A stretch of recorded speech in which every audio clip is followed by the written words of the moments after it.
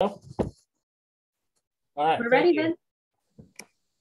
Well, thank you everyone for joining us for the inaugural uh, uh, Energy Storage at PNNL event series. So during this webinar series uh, that we, we have scheduled for the next several months, uh, we hope to really reach out and start exploring some of the hot research topics in energy storage and start looking at those and how they tie to the new grid storage launchpad uh, that's being constructed at PNNL. There we go. We see it on the screen now. So this new $75 million facility is really aimed at um, accelerating the development of next generation technologies. So GSL, as we, we call it, will do that through three focused uh, mission areas. One, how do we accelerate that development and deployment? How can we propagate rigorous grid duty cycles throughout every stage of the development process, from basic science and materials all the way up through systems, so we have a higher level of confidence of those technologies coming out? Secondly, how do we validate that these systems work at scale? And we're looking at systems as a complete system, validating those up to about 100 kilowatt hours uh, in duration. And the goal there is to get it to a stage where we can sufficiently de-risk it for industry to, to take on. And our final mission in GSL is really to collaborate. How do we link these capabilities that we have at GSL with others across the DOE complex to provide a holistic suite of solutions to industry to tackle those energy storage barriers that we are going to discuss. And so within the uh, GSL, those capabilities are going to run from fundamental science that's aimed at uh, understanding materials behavior while they're in operation of uh, charging and discharging in a new in operando center. How can we scale those discoveries up through uh, various prototyping lines uh, and scaling up of materials? And finally, the testing and validation of, of 100 kilowatt scale systems. So in today's presentation, uh, Matt Paiss is going to start us off with energy storage safety, which is a uh, obviously a hot topic uh, uh, for energy storage. And so, as I said, this will be one of several that will run out throughout the year.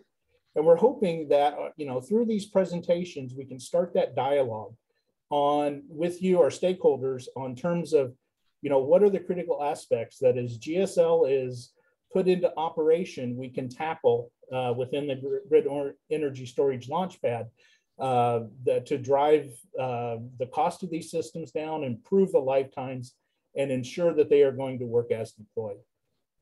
So everything you're going to see probably in the over the next uh, uh, few weeks of this and the grid storage uh, launchpad is part of uh, the portfolio of Dr. Imre Gyuk.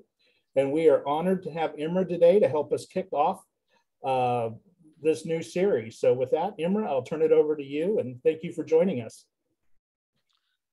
Hello, everyone. Uh, I'm Imre Gyuk, and as it says, I run the Office of Electricity Energy Storage Program. Now, we started this about 20 years ago, and we started very small.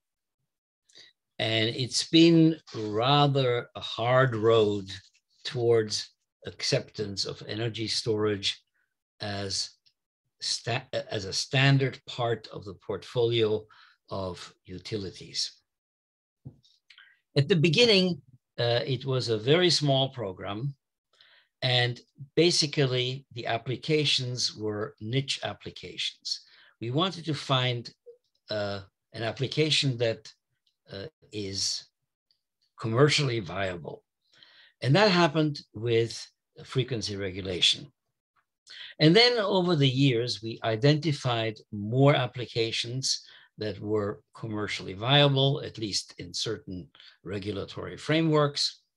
And it moved from being a niche application to being uh, a standard tool, at least with many utilities. But now we are in a new phase. We are now moving into an era where energy storage will be an essential part of decarbonization. uh, it's going to be part of our, our lifeline because we must decarbonize in future and we must bring on renewable energy. So the energy storage program, because it started at the very beginning, encompasses uh, a wide uh, portfolio of uh, activities. Uh, as Vince mentioned, it started with uh, exploring materials for energy storage, uh, batteries, basically. And from there, it moved on to devices. And uh, then we developed the analytics, the models to analyze those devices and to identify uh, successful business cases. And having a number of business cases, of course, led to the fact that there were sometimes glitches, uh, particularly with certain technologies, and we had to go into safety. Uh, today, you will hear a lot about safety from Matt Paiss. Uh, but it didn't stop there because it went on to developing codes and standards and policy and even uh, getting into finance and uh, international relations. So a very wide portfolio. And in this, of course, the Office of Electricity has relied on its uh, core laboratories. And chief among those are Sandia National Laboratory and Pacific Northwest Laboratory. And uh, there are other laboratories like Argonne and Oak Ridge that are also involved. But uh, in this series now, our focus will be on Pacific Northwest Laboratories and the many contrib contributions which they have made to the uh, energy storage uh, program uh, over the years and even more so uh, currently.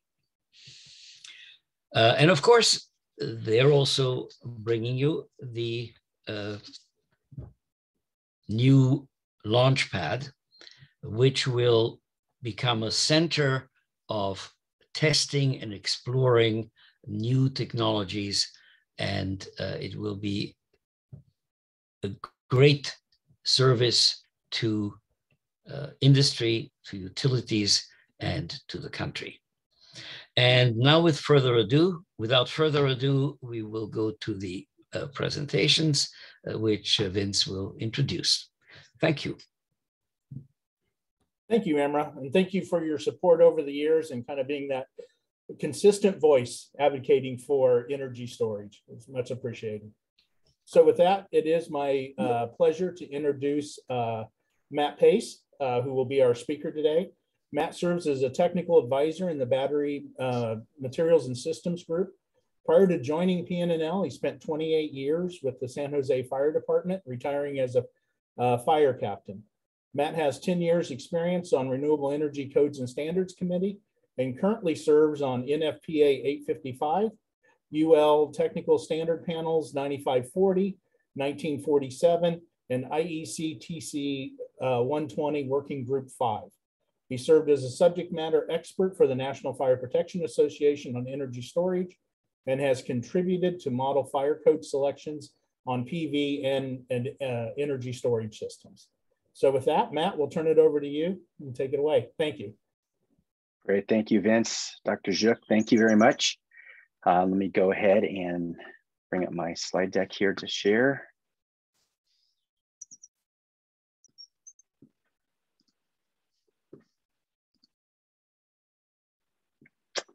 Okay, great.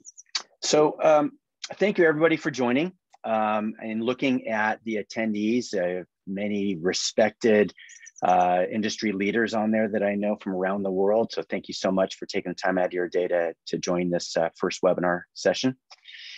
Uh, this first slide uh, just gives us a, a, quick overview of the structure of our validated safety and reliability program uh, led by Dr. Jacques. David Reed is a program manager, a, a scientist at PNNL and manages uh, a wide variety of programs. Um, the ones on safety is just one of them. And uh, within that group, you know, I, I really focus on the system safety codes and standards and education outreach. Uh, we have Ryan Franks, who's a recent add to the lab, uh, focusing on reliability, and uh, uh, Vish Viswanathan, who focuses on performance and some of the battery testing at the lab. So these areas broken down um, really focuses a lot on um, creating the codes and standards uh, with the, it, it's a consensual or a, a, consensus process to develop a lot of these codes and standards. Um, we work with Sandia on the Energy Storage Safety Collaborative and produce a quarterly report. I'll provide you a link to that a little bit later, another slide. And uh, these are the number of the committees that I work on. Vincent mentioned them, but here's just a graphic of the, the actual standards and technical committees. Um, another activity that we're involved in is, uh, and this is being led by Ryan, is an update to the Department of Energy's energy storage safety strategy. Uh, that's a document that was created um, about six years ago, and we're uh, working with Sandia to try and develop an update for that that reflects the current uh, kind of landscape of energy storage. Uh, and the last line there is, is our reliability forum that's occurring on May 4th and 5th. It's a virtual event, and we hope that you can join us at that event there. So, what is safety?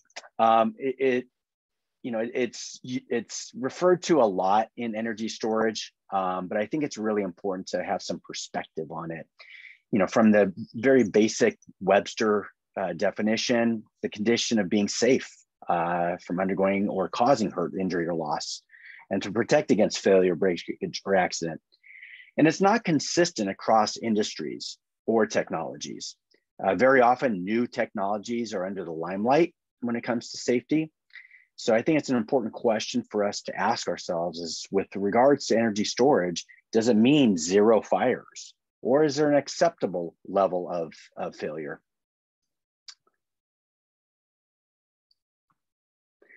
When we talk about the this example, I think it's good to look at uh, car fires, for example.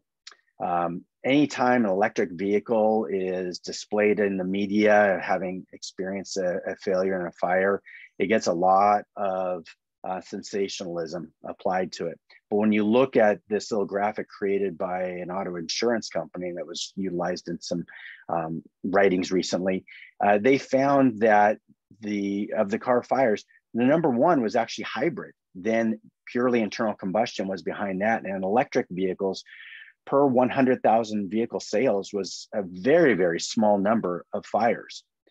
Um, so it, that's a very interesting statistic. Um, but I think the result demonstrated by the data there is that EVs are very safe. Now, it's not to say that the the fire itself, it does represent some challenges in extinguishing it and uh, that is not to be um, underplayed. It is an important tactic that the fire department really needs to understand. Now, when we talk about battery safety, it's really important to understand that this is a systems level responsibility.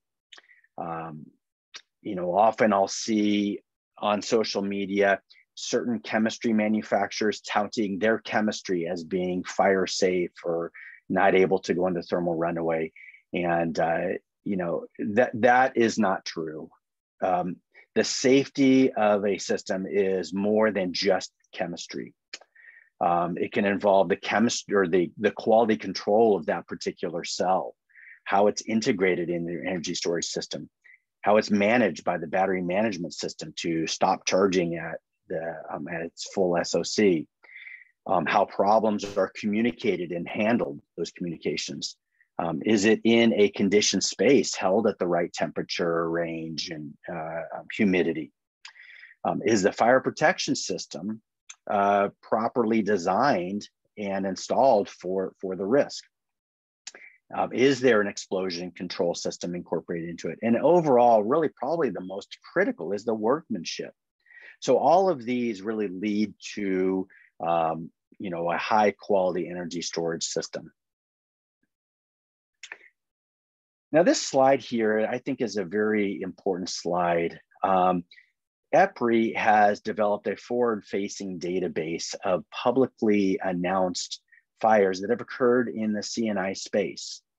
And these incidents um, are ones that have been um, you know, made public through, through some kind of media announcement.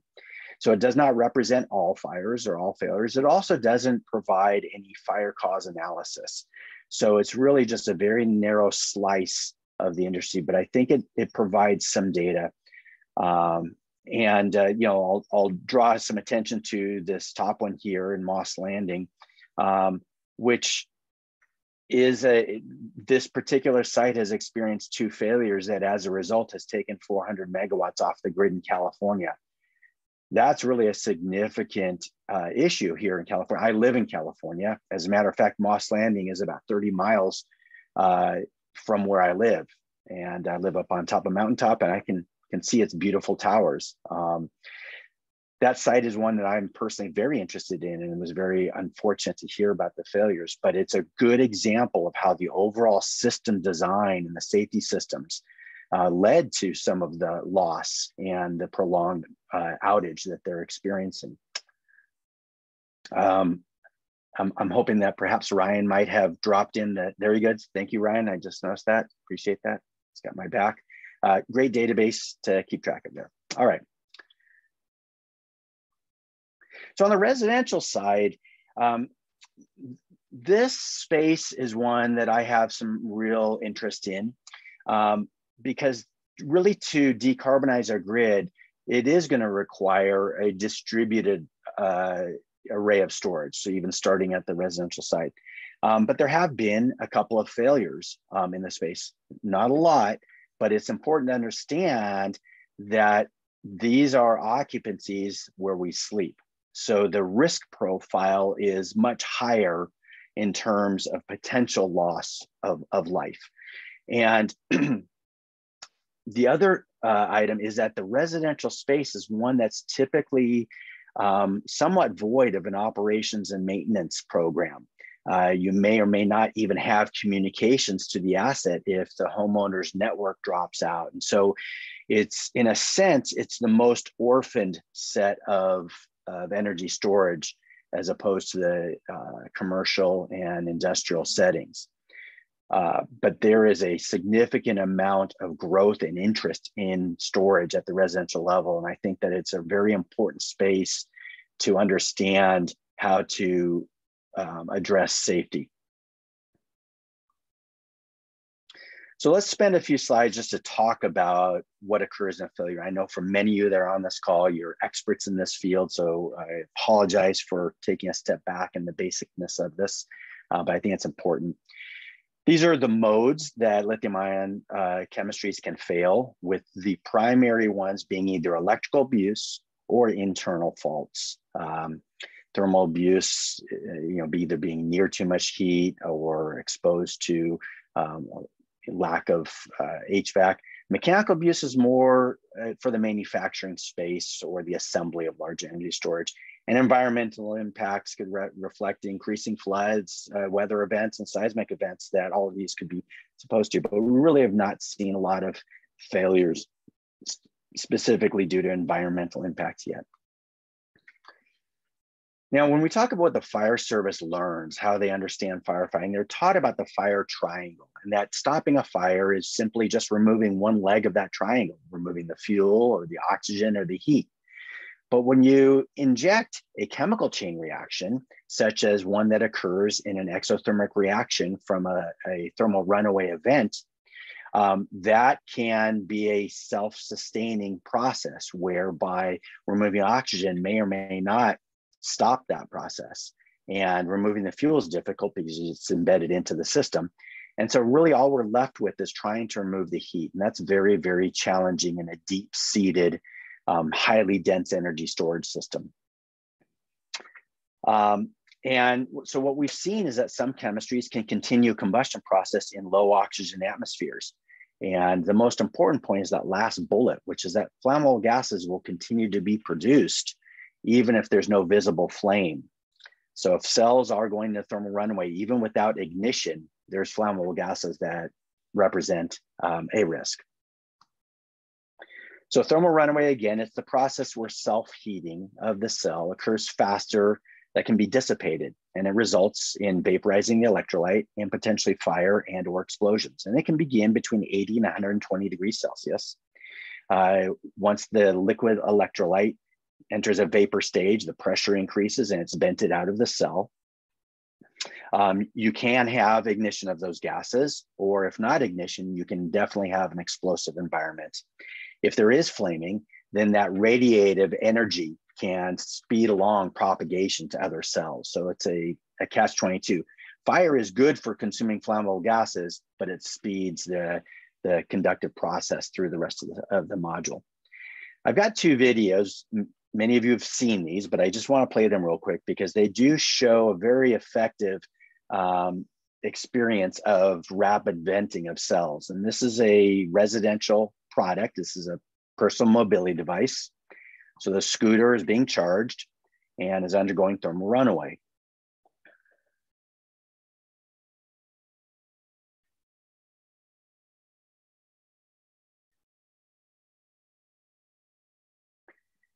Now, for those of you who have not seen that video, it's a terrifying video. And what's important to state is one, there is now a new UL standard for personal mobility devices that was developed after some of these hoverboard fires started happening a few years ago. Um, I can't speak to whether or not that device was UL listed. Um, but what's important just to understand is that that's a fairly small amount of storage. Um, I don't know how many cells vented uh, at that time, but the process of venting produces a very large amount of uh, flammable gases. And there was an ignition source. And so that result there is really what we're trying to address. This next one here um, you'll, you'll note next to the TV down at the bottom there, um, hopefully you can see my, my mouse, there's two yellow cells. These are from a um, scooter that's designed to pull the batteries out, take them home and charge them. And so this, this uh, um, person here is charging these cells and they're gonna experience a similar incident here.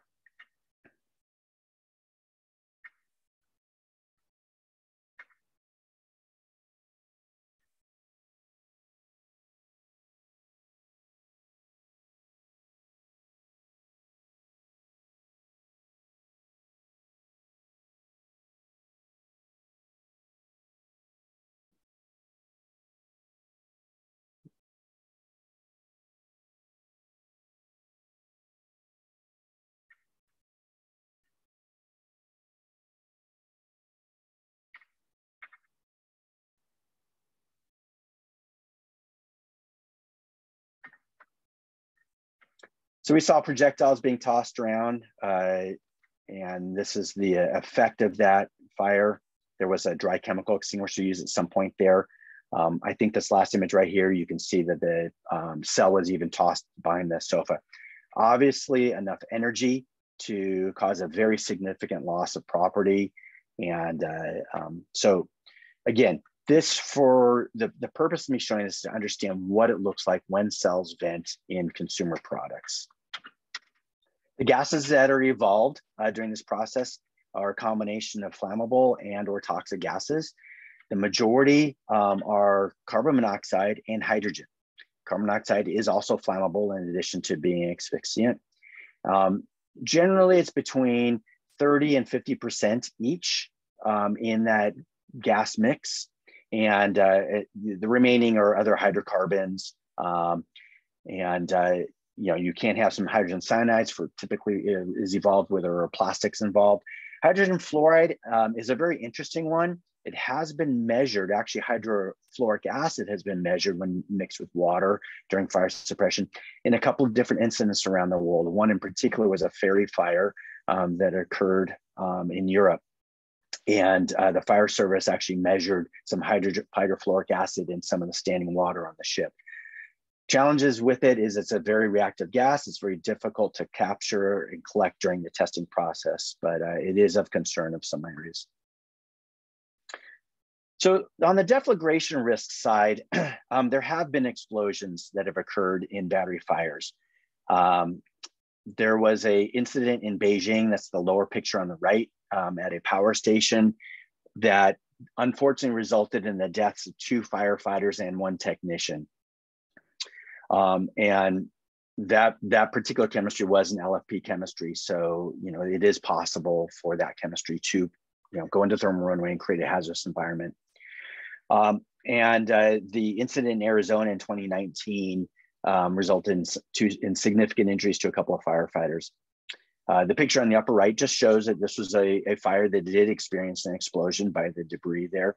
Um, and one of the challenges in the space today is there is really a limited effective fire suppressant that has been shown during the standardized testing um, in 9540A uh, to truly stop thermal runaway. What we're seeing is a combination of the module design um, as probably being the most effective component to stopping the propagation.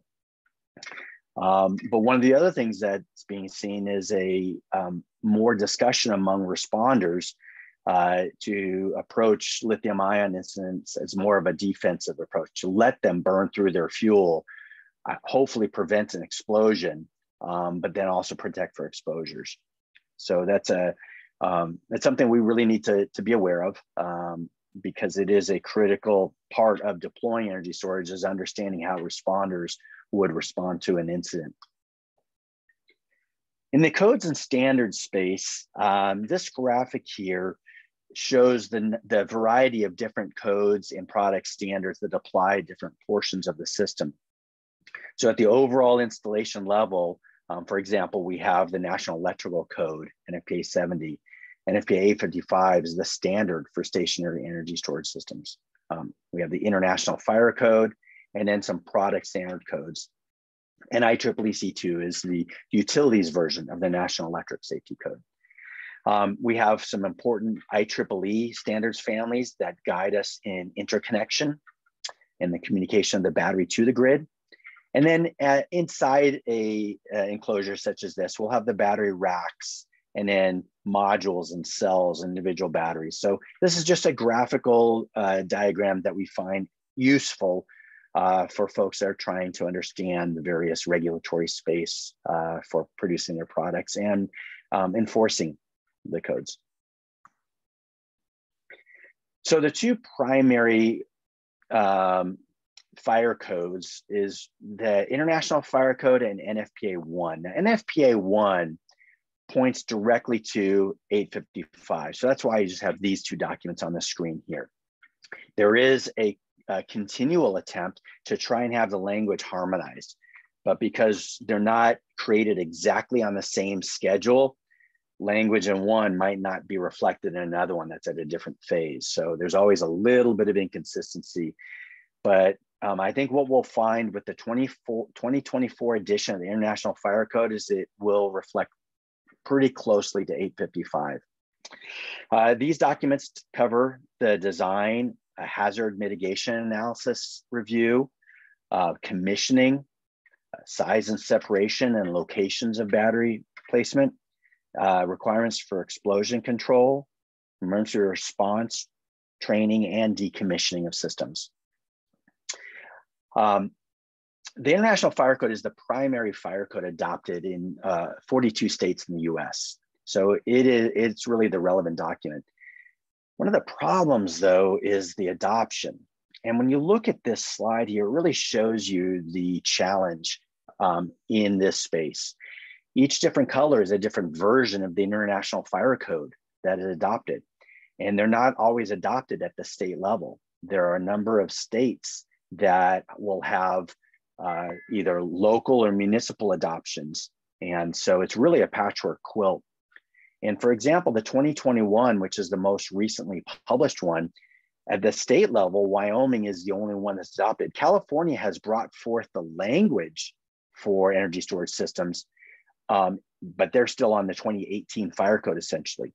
So what's most important is to guide um, integrators, utilities, installers into designing and installing to the best known practices, not the minimum standards that's required in the state. So at this time, please take out your phones, turn your camera on and take a picture of this QR code. What it'll bring up is this link at the very bottom.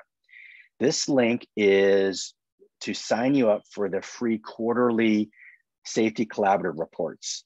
Um, so if you are interested in understanding what's happening in these uh, codes and standards um, and opportunities for you to provide input or comments, then this is probably the best way to, to be kept abreast of those. It's produced quarterly um, through the Energy Storage Safety Collaborative. That is an effort between um, PNNL, Sandia, um, and to a lesser part, Oak Ridge. But uh, it's an it's a uh, report that it's about 20 pages. You could just scan it. If there's a code that you're interested in, um, this is an easy way to do it. And we only send you uh, these reports.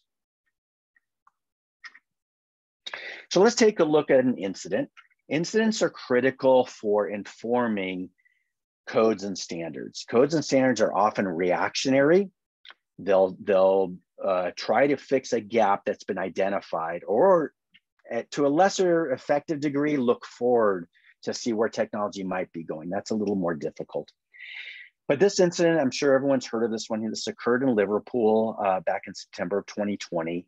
Um, this was a site that was used for frequency regulation and managed by an offshore owner and operator. Uh, the first announcement of a problem was an explosion locally. Um, there was no notification to the fire department prior to the explosion. And uh, so it fortunately only affected one enclosure. And uh, this is not deflagration venting. These were the HVAC units that were thrown off as a result of the explosion. Uh, the firefighting operations focused primarily on exposure protection. And uh, there was an explosion with debris thrown between six and 20 meters away. Uh, my comments have nothing to do with the fire cause that has not been released yet. So the firefighting actions really were tried to protect exposures. You can see by these images, they were very limited on their access to direct water into the enclosure is really just through the entry door. Key point, 59 hours of flowing water. I can tell you that where I live in California, if the fire department I work for were flowing water for 59 hours, there would be uh, a number of inquiries into our practices. And that's true for a number of areas around the world with decreasing water supplies. Um, there was a mention of a clean agent system that per CCTV uh, did not uh, discharge. I can't validate that. That's just a comment from the response report from the fire department. There was no uh, explosion prevention or explosion protection. Those are two different systems. Uh, neither was required to be installed and was not present. Explosion control is uh, something that is in an NFPA 855 um, and in the 2021 International Fire Code, and it calls out um, a couple of options deflagration venting, which are commonly understood as pressure relief panels or blowout panels. You can see in the picture in the upper right on that hopper, designed to protect after explosions occurred or during an explosion, direct pressure waves, fireballs away from personnel. Deflagration prevention is designed to prevent the explosion. Typically, it is an exhaust system, and it's it's uh, designed to keep the LEL below 25% of the lower explosive limit. Um, and then a third option that was added uh, to 855 is a system that's more performance based than prescriptive to a specific standard. And uh, so that would be an engineered system that would essentially just ensure that you don't have any of those gases that, that build up. And so um, uh, we've developed one technology called IntelliVent that's designed to open doors um, on that a lot of the data that goes into designing explosion control uh, really is based on the 9540A test method. And this is a test method, it's not a certification that develops data. It begins at the cell level. We want to try and determine can the cell go into thermal runaway or produce flammable gases? And if it, if it can, then you'll go through the module level test, the unit level test, and potentially installation level test if a fire suppression system is required. The reports that are coming from the labs are still in their kind of infancy, and, and there's some learning um, challenges with them. Some of the reports are not as clear, um, some are honestly inaccurate. And that's a challenging space when the codes require those reports to be provided to the HJ. So um, room for improvement in, in these reports and this data. Now, this slide might seem a little confusing. I want to um, give a shout out to my colleague Waylon Clark at Sandia. He and I have, um, Sandia has requested our support to providing some safety support for some of the, the uh, development projects that they do, some of the demonstration projects. So it's a good example of interlab cooperation. And uh, one of the things that we were finding was that there was a gap between what manufacturers thought they had to provide to be listed to 9540 and then what the fire code or NFPA 855 called out um, in the area of explosion control. And so a, good example of that is that if you wanted to get your product 9540 listed, nowhere in there does it call out explosion control. But if you're installing, say, on a military base and they're guided by NFPA 855, uh, 855 calls out explosion control. So manufacturers were discovering this a little bit late into their product development stage. Um, it really should be in 9540, and there are some proposals to do that in the next edition, 9540. But this slide just kind of calls out that in the International Fire Code, which is adopted by, by states, Chapter 12 has the requirements for energy storage.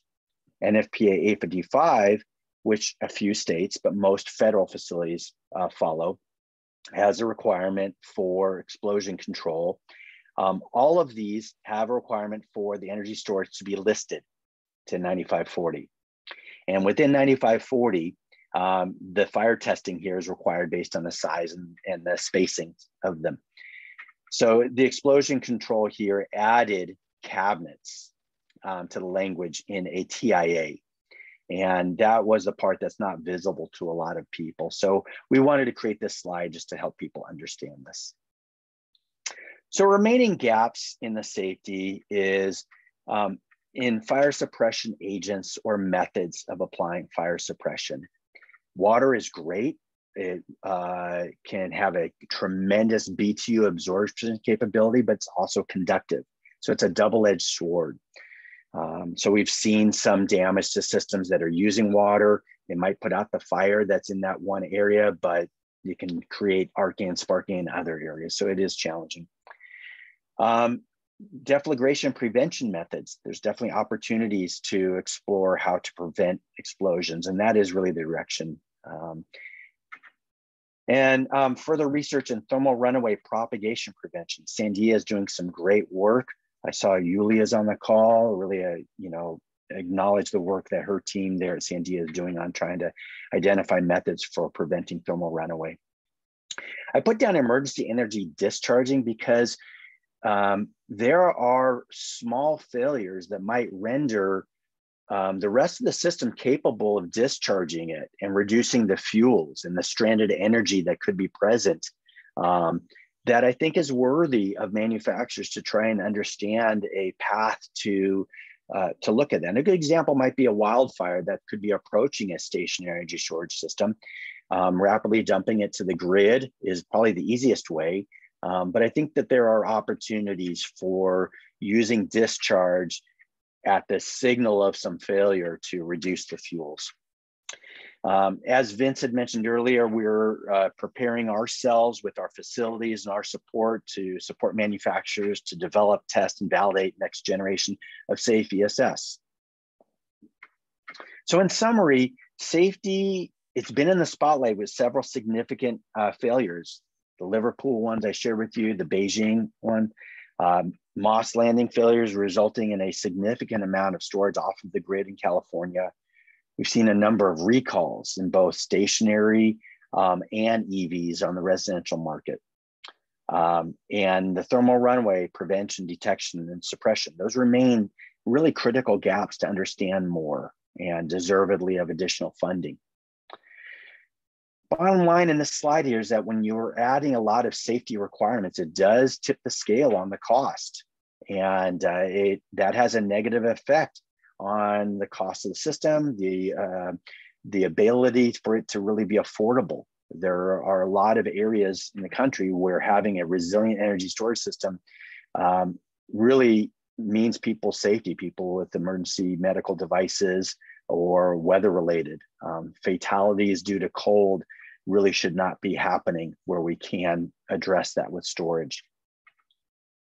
So the question that is always on the table is how much risk we're really willing to take to decarbonize our grid. And I think trying to uh, expect that an electrical device would never fail might be a bar too high to reach. So, you know, one, one question is perhaps it's the location the battery is placed, and that if a failure occurs, um, the extent of damage is limited based on that location. So I hope there might be a couple of questions that uh, that we can address. I appreciate the opportunity to talk about safety in this format and appreciate all of you joining.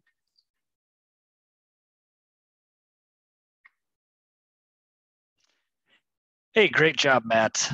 Uh, yeah, we do have uh, a number of questions here. Uh, my name is Ryan Franks, by the way. I'm a senior mechanical engineer at Pacific Northwest National Lab and collaborate with Matt and a host of the other people that he's mentioned.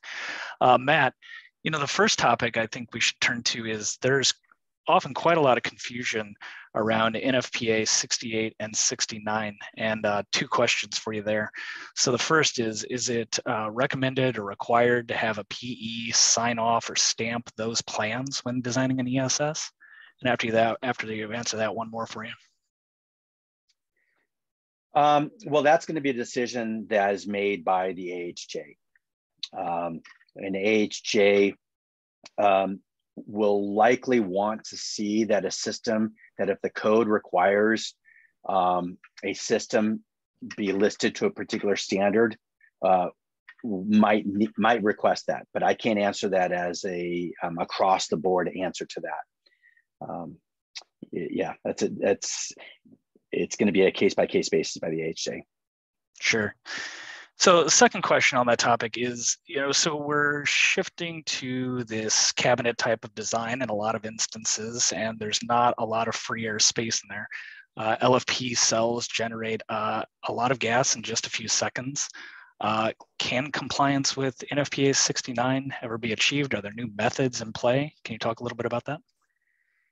Yeah, so let me speak a little bit about 69. So 69 is deflagration prevention.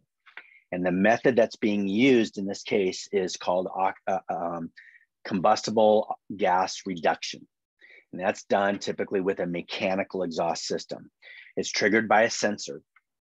And um, if there is the possibility that you could be above 25% of the lower explosive limit, there is a provision where you could be between 25 and 60% of the lower explosive limit if you have a SIL level two system, that's a safety integrity level. It's a very um, expensive system.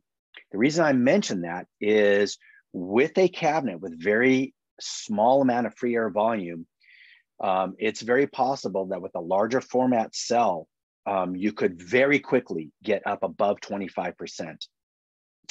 And so the, the expense of that system and the reliability of maintaining below those limits is very challenging.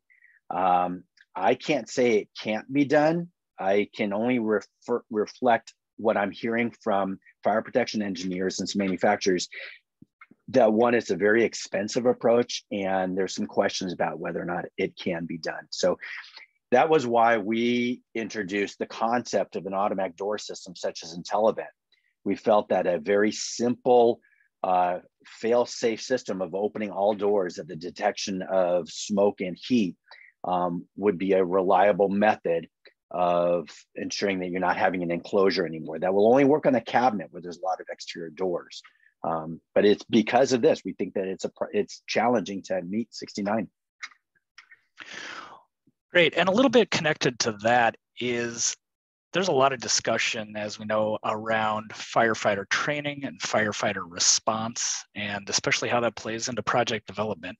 Uh, is there an established curriculum? Can you point to some resources for uh, firefighter and first responder training for ESS? Sure. Yeah, I see that submitted by my friend Ken Willette, who um, was with the NFPA, now with the another great firefighting organization. Um, NFPA created a training program that I was fortunate enough to be one of the SMEs on that. Um, that training program is still available. It's free online. However, it is outdated. It was created before the Arizona um, incident. And as a result of those firefighter injuries, uh, the cadre of instructors actually recommend removing some of the recommendations about doing gas monitoring because the places are firefighter too close. Um, I would say there is an opportunity for more training. Um, and uh, that is a space that, um, you know, I'm interested in trying to uh, use the resources that were provided by the uh, Office of Electricity and Dr. Gyuk to, to create some training. Um, and uh, so I think to Ken's question, um, as far as a readily available resource for energy storage training, there's some good training on PV that's available through IREC, um, supported by the International Association of Firefighters. But for energy storage, um, I think that's an area where we still need to create some more training. Got it. And so this is a frequent topic of conversation as well. So talking, shifting a little bit to codes and standards uh, and, and their play. Uh, can you talk a little bit about the intersection of 9540 and UL 9540A? Is one of them required or both required? Are there any different instances? Yeah, excellent question. Um, so if you look at the scope of 9540, right, that is the product listing. Um, in that scope, it states that if a unit is greater than 50 kilowatt hours, that it, it points you to 90 to 9540A to doing the fire testing. Now, what is a unit? That is an area that needs more definition, but at the writing, at the time of the writing of that standard, the unit meant essentially a single freestanding assembly. So it could be considered a rack. Um, and that is how a lot of the testing is done. If a manufacturer wants to call their entire cabinet a unit, they, they could. Um, but again, that's likely going to be greater than 50 kilowatt hours. Now, I'm not talking about residential. Um, so that's one that would trigger the fire testing. The other one is the spacing. If there is any spacing of units closer than three feet, that also triggers the 9540A testing. So the bottom line, the answer to that question is um, that any energy storage system that has individual units greater than 50 kilowatt hours or closer than three feet would trigger the 9540A testing. Um, and so some might say, well, isn't it just required for all? And I, I think it's probably safer uh, for manufacturers to assume that they should go through that. Um, there's some valuable data that comes from it that can help in the design. And I'll just add this. Um, if exam for example, you wanted to utilize um, a automatic door system for explosion control, it's valuable to understand that if there were a fire, what kind of heat flux could you potentially have outside of that open door, exposing maybe the next row of cabinets? That will help you as a manufacturer understand what kind of insulation package you want to have on your doors to protect against that heat flux. Um, so there's a lot of valuable data that comes from the 9540A test. And there's there's a lot of follow up questions regarding 9540A actually as well. So uh, the first of those is there are a couple different uh, revisions and additions. Uh, there is a difference in the third and the fourth edition, and we live in this dynamic environment with compliance. Uh, can you elaborate a little bit more about the differences uh, between the third and fourth revisions and 9540A and, and how people are complying with those? well, I'll say it real simply. Nine, the third edition does not exist anymore. um, the reason why there wasn't a, an update is because the method that was being utilized by some of the testing wasn't truly um, the, the intent of that test was not being realized by the way the test was done. So an example of that, manufacturer might have a pouch cell and the heater that was applied to the pouch cell might be a very small heater that wasn't really subjecting the cell to the worst case scenario, as well as the ramp rate, the amount of heat and the timing of that um, was maybe not really putting the cell in thermal runaway. Where if you had used a larger heater that represented potentially the whole size of the cell and a, a more significant ramp rate, truly getting the cell in into thermal runaway is the intention of the test. And so if you weren't getting it into thermal runaway, you're missing the intent. So that's that's one of the examples of, of the change that occurred. Um, And there, there's a number of other areas in there, in the fourth edition. But yeah, the fourth edition is the edition that um, if you're making a product today, you have to test to. Got it. So when we talk about compliance with codes and standards, uh, especially in the, the UL uh, listing realm, there are a couple of different terms that are thrown around. Uh, field listing, factory certification, uh, listing itself. And now uh, there's this new concept, uh, at least in the energy storage space, of, of subassembly listings. Uh, can you talk a little bit about how those work together and what people need to consider as they move forward with products and projects?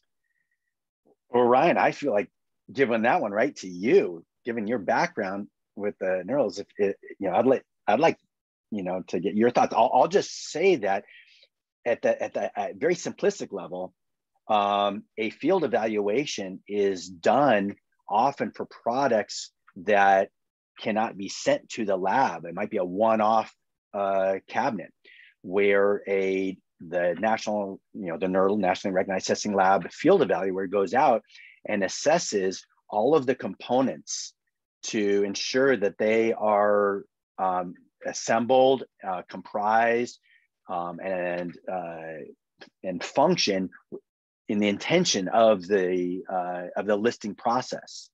And so it's it's done. Um, if there's destructive testing, it can't be done. But they would take test reports from the manufacturer and apply that to see if it meets the intent of the lab. How, how would you describe that that question? Yeah, yeah. Thanks for the invitation. So, uh, uh, in a normal uh, listing situation where you have things continually coming out of a factory, uh, the the whole certification scheme isn't merely the testing, but it, it's also on follow follow on uh, inspections and initial inspections of the production environment. And so, if that can't be done, if you're designing a very unique product or not producing it all the time, uh, another situation like uh, uh might might be necessary. Uh, but in addition, the as with many things other than energy storage, uh, there's now, at least with some testing laboratories, the concept of a um, pre-certification environment, a sub-assembly uh, type of listing, which allows manufacturers of components to perform some of that testing, meet some of the, demonstrate some of the requirements, so that, can then be rolled up into uh, a larger, more comprehensive system. Good, thanks for that, Ed. Absolutely.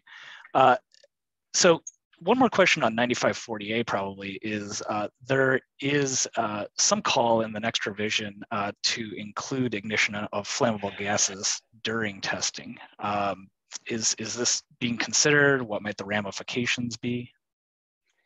Yeah, no, thanks, Andrew, for asking that. I think that that's it's a it's a it's a really interesting question. And for those of you who might not be as familiar, let's say that um, a cell manufacturer does a cell and a module test, and the cells vent, but there's no flame. Um, so that might be very helpful to show the, that if a battery fails, it's not going to light, you know, the next module on fire or extend to the structure. That, that's good. But the production of flammable gas is still there. And so the explosion risk has to be addressed. So there, there is some question about uh, introducing an igniter to understand what the heat flux is, going to my earlier comment. Um, I can't speak, Andrew, to whether or not it will be in there, but I can say that there is um, a lot of interest in, um, in seeing that data. And uh, so I don't know whether or not it's, it's introduced at a certain stage at the beginning, um, a, a, secondary test. But I, I I agree with you. I think that the the information is important because just because flame didn't occur during that test doesn't mean that's how it would always fail. And that's a really important thing for everyone to understand is that the 9540A tests are done with batteries that are not interconnected to the grid.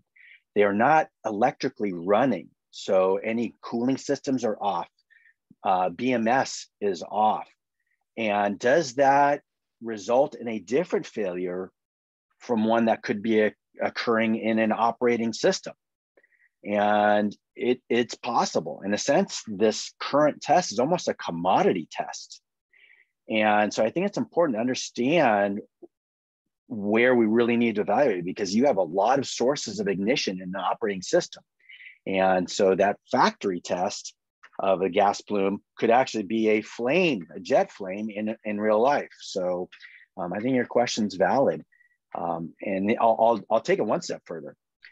Um, there's some belief that a thermal runaway event in a energized module with potentially very high voltages on the bus bars very close to that module could result in some conductivity through that conductive uh, um, gas. And so there could be additional um, arcing that occurs at the module level that results in more ignitions of cells. So the design of a module in the 9540A test, does that really relate to the same type of fire in a fully energized system? So I think it's an interesting question.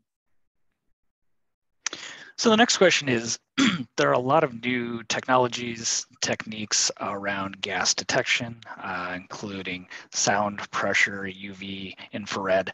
Um, how do those get incorporated into uh, ongoing changing codes and standards like an NFPA 855 or a UL uh, uh, safety standard?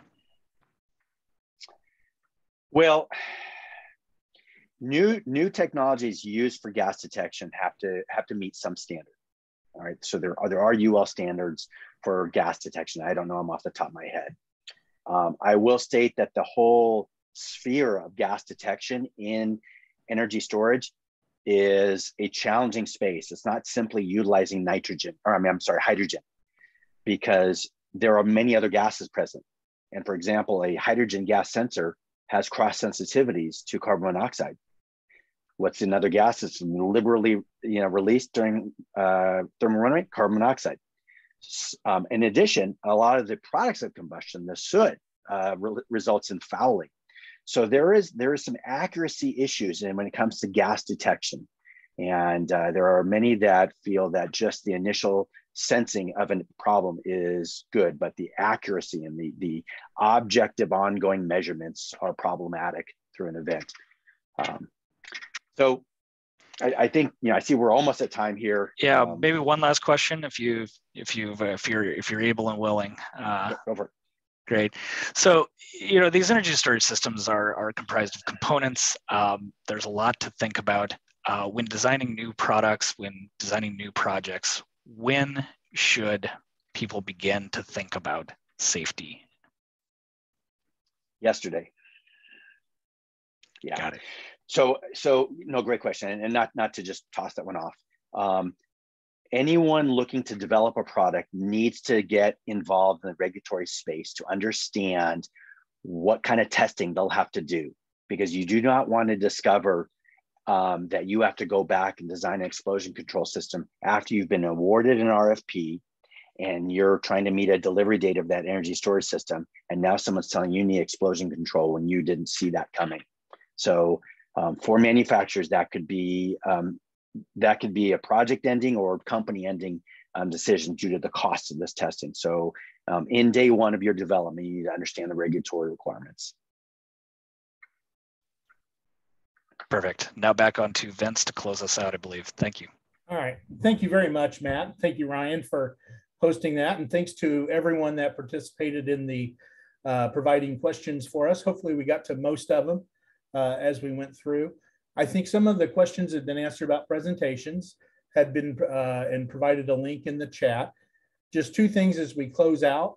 Um, one, uh, in the chat, there is a link to the Safety and Reliability Forum uh, that is uh, being put on for uh, DOE's Office of Electricity Energy Storage Program. That is what, May 4th and 5th, I believe. Um, secondly, is this was our inaugural uh, kickoff of this webinar series. Our plan is to do this about every two weeks with a different storage topic. And so I would encourage you to look at April 14th. We will have Di Wu, who leads our analytics team, that, you know, once we've safely designed and installed the storage system, how do you maximize the value? Uh, depending on where you are in the country and what kind of models and tools are available for you to get the most out of this energy storage system. So that will be April 14th uh, at the same time. Uh, again, link to that is in the chat uh, window where you can register for that. and we hope to see a lot of you back here by then. So thank you again uh, for attending and looking forward to uh, continuing our conversations. Thank you.